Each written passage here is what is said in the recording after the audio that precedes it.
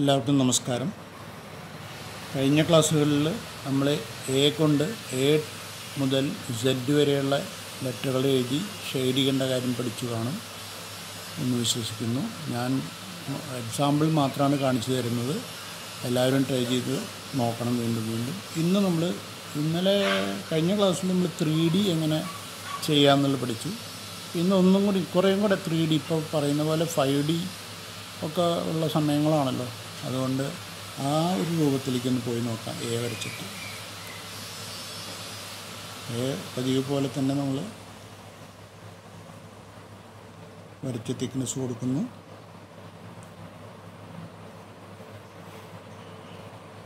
Thickness കൊടുക്കുമ്പോൾ ഇപ്പം നമ്മൾ സ്ട്രെയിറ്റ് ആയിട്ടാണ് നോക്കുന്നത്. അവിടുന്ന് സൈഡിൽ നിന്നല്ല വരുന്നത്. ഈ സൈഡിൽ നിന്നല്ല.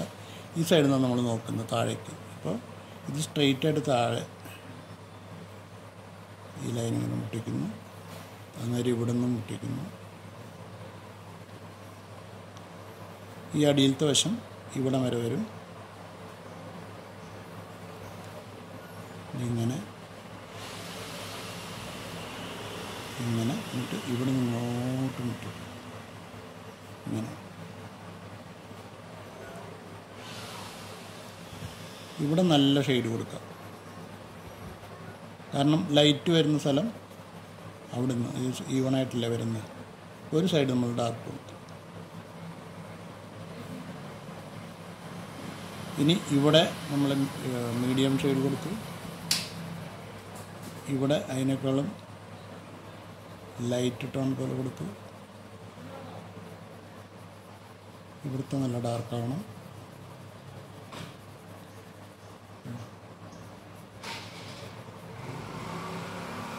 കഴിഞ്ഞ്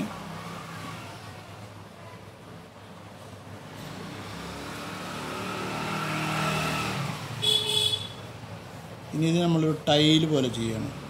അതായത് ബ്രിക്സ് ടൈലല്ല ബ്രിക്സ്. ഇങ്ങനെ ലൈൻ വരച്ചു കൊടുത്തു. ഈവണായിട്ട് വരയ്ക്കാൻ നിങ്ങൾ സ്കെയിൽ വെച്ച് വരയ്ക്കാൻ ശ്രമിക്കണം.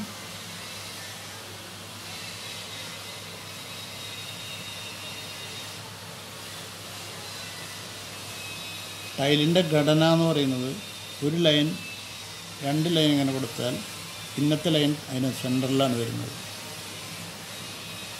ഇങ്ങനെ പോകണം അതിന്റെ ഇങ്ങനെയാണ് അത് ഡെവലപ്പ് ചെയ്യുക. ടൈലിന്റെ ബ്രിക്സൊക്കെ നമ്മൾ വീട് വീടൊക്കെ പണിയുമ്പോൾ ശ്രദ്ധിച്ചാൽ കാണും കല്ല് കെട്ടുന്നത് പോലെയാണ് എന്നാലേ രണ്ടും കൂടി ലോക്കാവുള്ളൂ ഇങ്ങനെയാണ് ബ്രിക്സ് നമ്മൾ വരയ്ക്കുന്നത്. ഇവിടെയും കൊടുത്തു.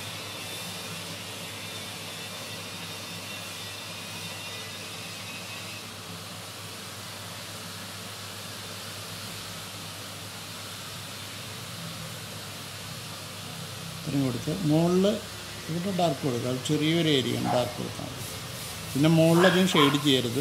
കാരണം ലൈറ്റ് വരുന്നത് ഇവിടെ നിന്നാണ് മുകളിൽ നിന്നാണ് ലൈറ്റ് ഈ സൈഡിൽ നിന്നാണ് ലൈറ്റ് വരുന്നത്. കേട്ടോ? ഇവിടെ ലൈറ്റിന്റെ പോർഷൻ വരച്ചിടുക. അങ്ങനെ വരച്ചിട്ട്. ഇത് വന്നു കഴിഞ്ഞിട്ട് ഇനി ഇതിനെ ഷെയ്ഡ് ചെയ്യുമ്പോഴാണ് ഇത് ശരിക്കും വരുന്നത്.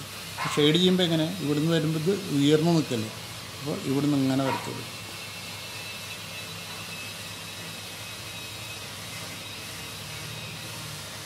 അത്ര വെച്ചിട്ട് ഇങ്ങനെ ബാക്കിയുള്ള വശമൊക്കെ നമ്മൾ ഷെയ്ഡ് ചെയ്യണം.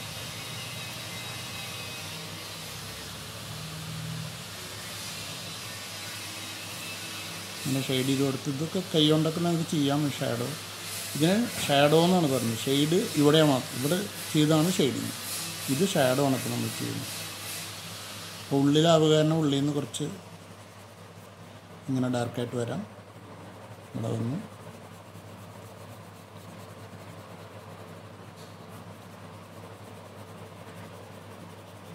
ഇതിനടുത്ത് കുറച്ചും കൂടെ ഡാർക്ക് കൊടുക്കുക.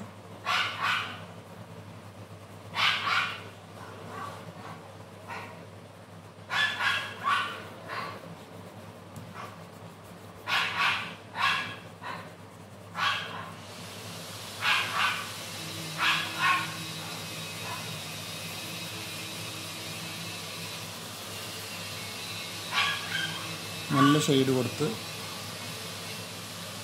ലൈൻസൊക്കെ നല്ല ഷാർപ്പായിട്ട് വരയ്ക്കുക വീണ്ടും. ഇവിടെയും നമ്മൾ ഈ കല്ല് കെട്ടിയിട്ട് ഡാർക്കായിട്ട് വരയ്ക്കണം. കാണുന്ന ഏരിയയിൽ അപ്പോൾ ഒരു ഇഷ്ടിയെ കൊണ്ട് ഈ ബ്രിക്സ് കൊണ്ട് കെട്ടിയിട്ടുള്ള ഒരു കൊട്ട പോലെ ഒരു കല്ലുകൊണ്ട് കെട്ടിയിട്ടുള്ള ഒരു വലിയ സംഭവമാണ്. ഏ? ഉണ്ടല്ലേ? ഇതിന്റെ മുകളിൽ ലൈറ്റ് ഷെയ്ഡ് മാത്രം കൊടുത്താൽ മതി. കൂടുതൽ കൊടുക്കരുത്. ഇനിയിപ്പോൾ ഇതിന്റെ മുകളിൽ ഇപ്പം നമ്മൾ ഒരു കുട്ടി ഇരിക്കുന്നതായിട്ട് വരയ്ക്കുകയാണെങ്കിൽ സൈറ്റ് സീയിങ്ങിന് ഇരിക്കുകയാണ് കുട്ടി ഇവിടെ ഇതാ. ഈ കുട്ടി ഇരുന്ന് കഴിഞ്ഞാൽ നമുക്ക് റിയലായിട്ട് തോന്നും. ഇല്ലല്ലേ ഇത്ര ഉയരം ഹൈറ്റ് ഫീൽ ചെയ്യുന്നില്ലേ? ഇതാണ് ഇന്നത്തെ ക്ലാസ് ഇത് ഇനി സമയം കൂടണ്ട. അടുത്ത ക്ലാസ്സായിട്ട് നാളെ വരാം. അപ്പോൾ ഇതൊന്ന് ചെയ്ത് നോക്ക്.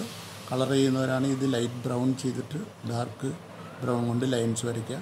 ഷെയ്ഡ് കൃത്യമായിട്ട്. സൂര്യന് അഭിമുഖമായിട്ട് വരുന്ന സ്ഥലത്ത് ലൈറ്റ് വീഴും. അതിന്റെ ഓപ്പോസിറ്റുള്ള സ്ഥലത്ത് ഇങ്ങനെ വീഴും. പിന്നെ ഇതൊക്കെ ഷാഡോയിൽ പെട്ടതാണ്. അപ്പോൾ ലൈറ്റ് ഷെയ്ഡ് ആൻഡ് ഷാഡോ എന്നുള്ളതാണ്. ഓക്കെ